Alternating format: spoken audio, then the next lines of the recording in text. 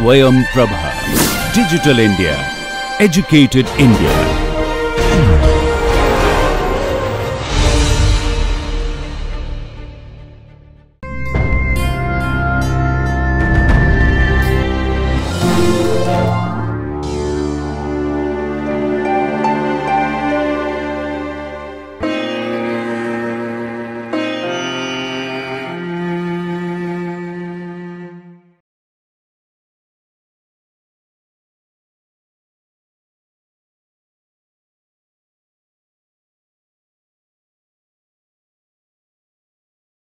This class is about embolism. Our learning objectives will be first to understand the term embolus, the definition. We will then see the different types of emboli and end by specifying the features of pulmonary thromboemboli and systemic thromboemboli. The definition of embolus this means that there is an intravascular, undissolved, solid, liquid or gaseous mass which is carried by the bloodstream from its site of origin or entry in the circulation to a distant site from its point of origin. This solid mass or liquid mass or gaseous mass which is moving in the bloodstream is referred to as an embolus if it is singular and emboli if there are many.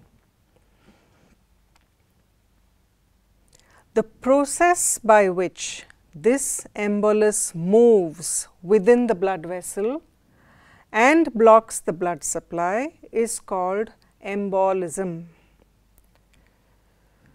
Usually, this process is a pathological event. Sometimes, however, in the medical scenario, emboli are created by the clinicians for therapeutic purposes. For example, to stop a bleeding vessel or to supply the feeding vessel of a tumor so that the tumor will undergo necrosis and then can be appropriately treated. This kind of procedure is called therapeutic embolization. We however will focus only on the pathological embolism. Let us now move on to the classification. There are three different ways in which we can classify emboli. The first method is determined by the state of this mass which is moving in the circulation. For example, it can be a solid material, it could be liquid or it could be gas. Let me give you a few examples now. Solid material include pieces of thrombi that are present in the circulation. They break away and are pushed away distally in the circulation. It can be material from within atherosclerotic plaques, the atheromatous material. It can be bits of tumor, tissue fragments, foreign bodies, parasites and even bacterial clumps. Liquid emboli are usually fat globules, amniotic fluid from a pregnant uterus and bone marrow fragments from a fracture site. Gases can be air which can be injected into a vessel or go into a severed vessel and nitrogen gas as is seen in deep sea divers. Whatever the state of this mobile mass, solid, liquid or gas, it begins at one point in the circulation and is carried to a distant site from its point of origin.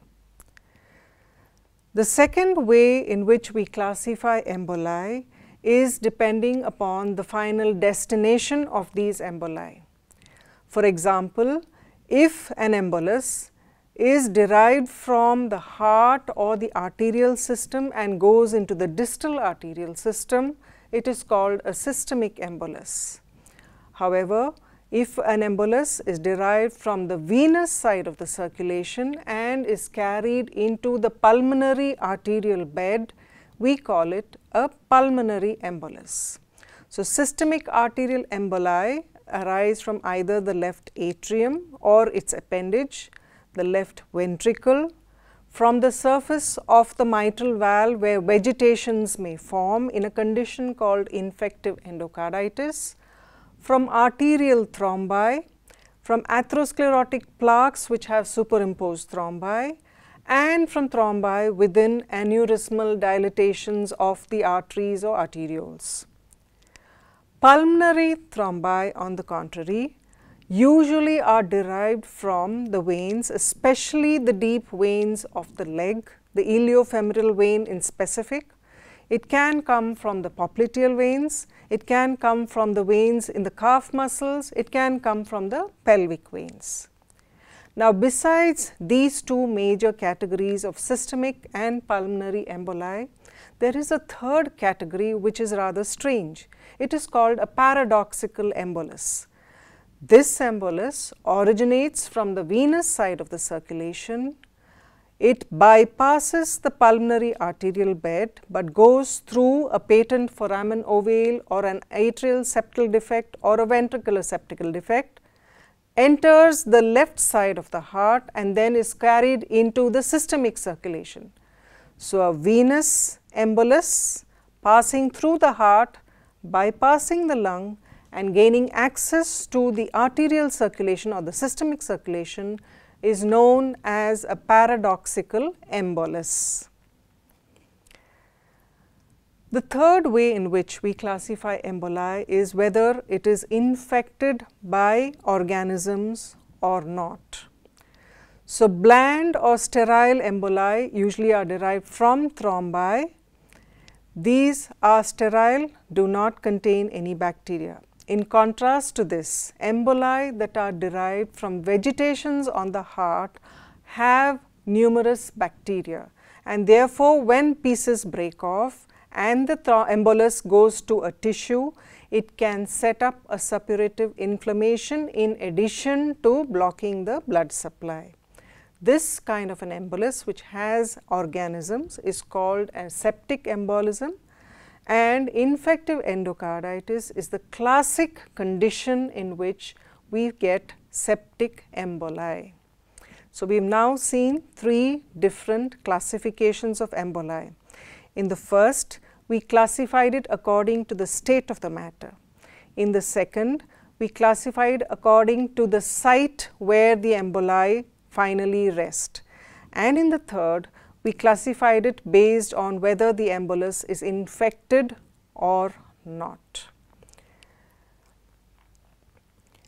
What we must now remember is that most emboli are, are those in the solid state and most are derived from thrombi within the circulation. So, these are in other words called thromboemboli because they are derived from pre-existing thrombi. Thrombi as you know tend to become dry and friable and therefore pieces can break away from it. Also as you see in the picture if there is an occluding thrombus then the distal column becomes stagnant and forms a propagated clot, clot that lies loose in the vessel. This propagated clot also is unstable and can easily break away and be carried into the circulation. So, therefore, let us remember that the majority of emboli seen in human pathology are the thromboemboli. These lodge in vessels that prevent their further passage so, if they cause partial occlusion of the lumen of that vessel, they will result in ischemia of the tissue supplied by the vessel or if they completely block that blood vessel, it will result in infarction or necrosis of the tissue that is supplied by that vessel. In this picture, you can see an aneurysmal sac having this lamellated thrombus within it. This is the source of some of the emboli which are seen in human disease. In this next picture, you can see thrombi superimposed on atherosclerotic plaques within the aorta and these two can break away and be carried into the systemic vessels. For example, here it can go into the splenic artery and go into smaller and smaller vessels within the splenic parenchymal bed until it gets lodged in a distal vessel, blocks the blood supply and results in infarction of the splenic tissue supplied by that blocked vessel. Let us now look at the specific features of pulmonary emboli. Pulmonary emboli as we already mentioned most often arise from thrombi especially in the veins of the lower limb. The iliofemoral vein is the commonest site from which emboli arise. The popliteal vein, the calf vein, calf muscle veins and sometimes the pelvic veins can also contribute to thromboemboli in the pulmonary circulation. Sometimes thrombi can arise within the right side of the heart and sometimes in associated atrial fibrillation, fragments are dislodged and enter the pulmonary circulation. Besides thromboemboli, tumor emboli can enter the pulmonary circulation as also air emboli and fat emboli. We will now stress on pulmonary thromboembolism and deal with the other types of emboli in another session. Pulmonary thromboembolism arises in the leg veins in 95 percent of the cases and of these the majority are from the iliofemoral veins. Superficial veins of the leg, veins in the calf muscles and the pelvic veins may also contribute to a small percentage of pulmonary emboli. Intracranial venous sinus thrombosis also is a source of pulmonary emboli rarely. Most of these thromboemboli are not suspected during the life of an individual. In fact, autopsy series on elderly patients have shown that about 25 percent of them have had silent pulmonary emboli which was never detected during their life and they probably died of unrelated causes. The risk factors for developing pulmonary thromboembolism is very much the same as what is seen in venous thrombosis. It is commonly seen in post-operative patients who have been bedridden for some time, elderly patients who are also subjects for major surgeries, advancing age of the patient, in obesity, oral contraceptive use, prolonged surgeries for example like orthopedic procedures, in patients suffering from cancer and infections, patients having pre-existing venous diseases, indwelling catheters and in a small percentage of familial cases where there is a genetic predisposition to developing thrombosis and hence emboli. The size of these emboli can vary. If there is a single or multiple very small pulmonary emboli, majority remain clinically silent. Why is this so? The pulmonary vascular bed is supplied by two sources. One is the pulmonary arterial supply and two is the bronchial arterial supply. So, if the pulmonary arterial supply was to get obstructed, the bronchial arterial supply will compensate and hence there are no consequences. So, many that is about 75 percent remain clinically silent. Emboli in these vessels may just undergo resolution by the thrombolytic agents, become organized and incorporated into the wall of the vessels, the only residual evidence being certain threads of fibrous strands extending across the lumen of these vessels which are seen in some autopsies.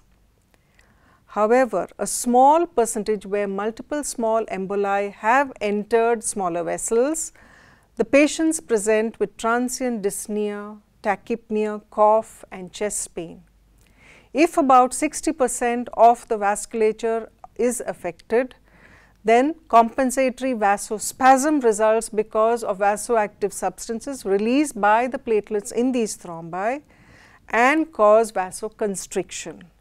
This results in hypotension because when the cardiac output is decreased, there will be hypotension. This causes right heart failure and is known as acute cor pulmonale. In a patient who has been a subject for a pulmonary embolism, repeated episodes may follow this initial episode. When recurrent pulmonary emboli, that is multiple small emboli enter the pulmonary vasculature, progressive organization and cumulative damage can occur to the pulmonary parenchyma and these vessels resulting in pulmonary hypertension. In such patients, there is chronic right heart failure, what is referred to as chronic cor pulmonale. If a larger embolus enters a larger pulmonary arterial vessel, it may cause distension of that vessel and rupture resulting in pulmonary hemorrhage. Here again the pulmonary, pulmonary parenchyma recovers adequately because of the compensatory bronchial arterial blood supply. However, if a patient has congestive cardiac failure or is a subject of chronic lung disease, then blockage of a medium sized vessel by such an embolus may result in infarction of the pulmonary parenchyma supplied by that vessel. So, pulmonary infarction results in such cases. Now, we talked about deep venous thrombosis and the propagated clot. Imagine that large propagated clot getting dislodged entering through the vena cava into the right side of the heart and going into the pulmonary trunk. This large clot when it enters the pulmonary trunk tends to get coiled up and block either the pulmonary trunk or go and lie astride its bifurcation. If it blocks the pulmonary trunk, it causes acute right heart failure, circulatory collapse, especially if more than 60 percent of the circulation is blocked. A massive embolus which goes astride the bifurcation of the pulmonary trunk is called a saddle embolus and when this occurs invariably the patient just drops sudden death results. In this picture you can see a beautiful saddle embolus sitting astride the bifurcation of the pulmonary trunk and you know the outcome in such cases is sudden death. Let us now move on to systemic emboli. These emboli usually arise from thrombi in the arterial side of the circulation. About 80 percent originate from intracardiac mural thrombi. Two thirds of these occur over left ventricular wall infarcts there are superimposed thrombi on these infarcts and they break away causing the emboli in the arterial circulation. About 25 percent of these thrombi arise from left atrial dilatation and thrombi with superadded atrial fibrillation causing pieces of the thrombi to get dislodged. The remainder of thrombi are derived from aortic aneurysms, thrombi overlying atherosclerotic plaques and from vegetations which form on the surface of the cardiac valves. We have already discussed paradoxical emboli where thrombi from the venous side let go of emboli that pass through defects in either the atrial or the ventricular septum and gain access to the systemic circulation. In about 10 percent of cases, the origin of the emboli remains unknown. In this picture, you can see the cardiac thrombi. This patient had a myocardial infarction. You can see the thinned out ventricular wall and this dark material which is lamellated on the surface of that is an intracardiac thrombus. This is one of the sources of emboli in the systemic circulation. Similarly, in this patient, an aneurysmal dilatation has formed in the region of a myocardial infarct scar and the lumen is filled with thrombus. As in contrast to the pulmonary emboli where emboli can only reach the pulmonary bed, systemic emboli can travel to a wide variety of sites. Many of them end up in the lower limbs, some go to the brain, the remainder involve vessels in the kidneys, intestines, spleen and other organs.